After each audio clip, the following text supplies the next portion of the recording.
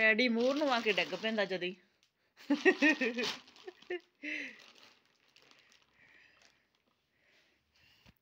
So guys ਰਸੋਈ ਦੇ ਵਿੱਚ ਆਵਾਜ਼ ਆਈ, ਆਵਾਜ਼ ਖੜਕਾ ਜਿਹਾ ਸੁਣਿਆ ਤਾਂ ਭੱਜ ਕੇ ਆ ਕੇ ਦੇਖਿਆ, ਬੋਤਲ ਡਿੱਗ ਪਈ ਤੇ ਟੈਡੀ ਟੂਡੀ ਡਿੱਗੇ ਪਏ ਸੀ ਇਹਦੇ। ਸੁਮਨ ਬਣਾਉਂਦੀ ਆ ਸਬਜ਼ੀ ਤੇ ਮੈਂ ਕਿਹਾ ਮੈਂ ਦੇਖਦੀ ਕੀ ਡਿੱਗਿਆ ਵਾ।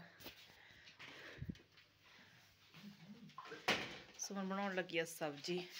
ਮੇਰੇ ਕੈਮਰੇ ਤੇ ਤੇ ਕਲੀਅਰਟੀ ਨਹੀਂ ਆਉਂਦੀ ਨੇ। ਪਾਲਾ ਕਿਉਂ? ਚਮਚੇ ਨਾਲ ਪਾਲਾ ਨਾ ਕੜਛੀ ਨਹੀਂ ਪੈ ਰਹੀ। ਪਾ ਦੇ ਤਾਂ ਪਾ ਦੇ ਚ। ਇਹ ਤਾਂ ਲੈ ਆ ਇਹਦੇ ਚ। ਕੜਛੀ ਲੈ ਆ ਚ। ਸੁੱਕ ਲੈਣ ਦਮਾ ਸੁੱਕ ਜਾਣਾ ਤਾਂ ਸੁੱਕ ਗਿਆ। ਚਮਚੇ ਨਾਲ ਪਾ ਲਾ। ਮੈਂ ਮੇਰੇ ਕੋਲ ਤੇ ਆਵਾ ਦੇ ਕੋਲ। ਆ ਦੇ ਇਹਨਾਂ ਚ ਪਾ ਚਮਚੇ ਨਾਲ ਸਾਰਾ ਪਾ ਦੇ। ਕੋਈ ਨਾ। ਸੋ ਗਾਇਸ ਸੁਮਨ ਬਣਾਉਣ ਲੱਗਿਆ ਸਬਜ਼ੀ ਤੇ ਮੈਂ ਇਹਨੂੰ ਚੀਰ ਕੇ ਦੇਤੇ ਆਲੂ ਚੀਰ ਤੇ, ਪਿਆਜ਼ ਚੀਰ ਤੇ, ਪਿਆਜ਼ ਨੇ ਅਦਰਕ ਚੀਰ ਲਿਆ ਤੇ ਇਹਦੇ ਚੋਂ ਉਹ ਲੈ ਲਾ। ਆ ਚੱਕ ਸੁਮਨ ਥੱਲਿਓ। ਸੁਮਨ ਆ ਡੱਬਾ ਚੱਕ ਨਹੀਂ ਜਿਓ ਨੂਣ ਦਾ ਨਹੀਂ ਹੌਲੀ ਹੌਲੀ ਹੌਲੀ ਹੌਲੀ ਕੰਮ ਕਰਿਆ ਕਰ।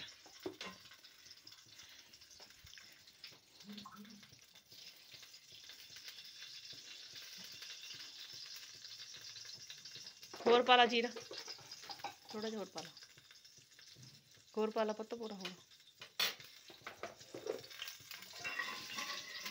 ਮੈਂ ਅਦਰਕ ਮੈਂ ਲਸਣ ਵੀ ਚੀੜਿਆ ਲਸਣ ਚੀਰਿਆ ਛਿੱਲਿਆ ਹੀ ਨਹੀਂ ਆਪਾਂ ਬਸ ਐਂ ਪਾ ਲਾ ਕੱਲਾ ਅਦਰਕ ਹੀ।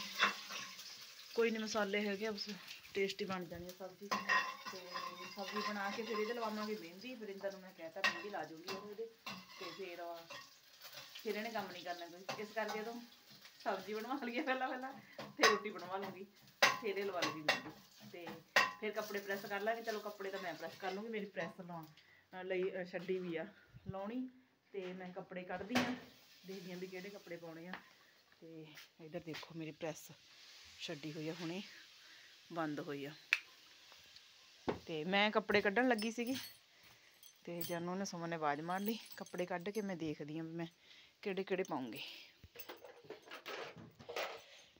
ਤੇ ਮੇਰਾ ਯੈਲੋ ਸੂਟ ਆ ਗ੍ਰੀਨ ਸੂਟ ਆ, ਇਹ ਵਾਲਾ golden orange purple magenta peach ਫਰੋਜੀ। ਉਹ ਤਾਂ ਫਰੋਜੀ ਘਰੇ ਮਤਲਬ ਸਿੰਪਲ ਹੀ ਆ।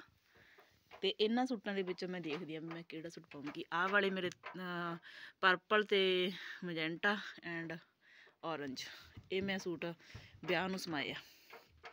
ਆ ਵੀ ਹੁਣੀ ਸਮਾਇਆ ਵਾ 골ਡਨ ਤੇ ਦੇਖਦੇ ਆ ਕਿਹੜੇ ਕਿਹੜੇ ਪ੍ਰੈਸ ਕਰਦੀ ਤੇ ਕਿਹੜੇ ਨਹੀਂ।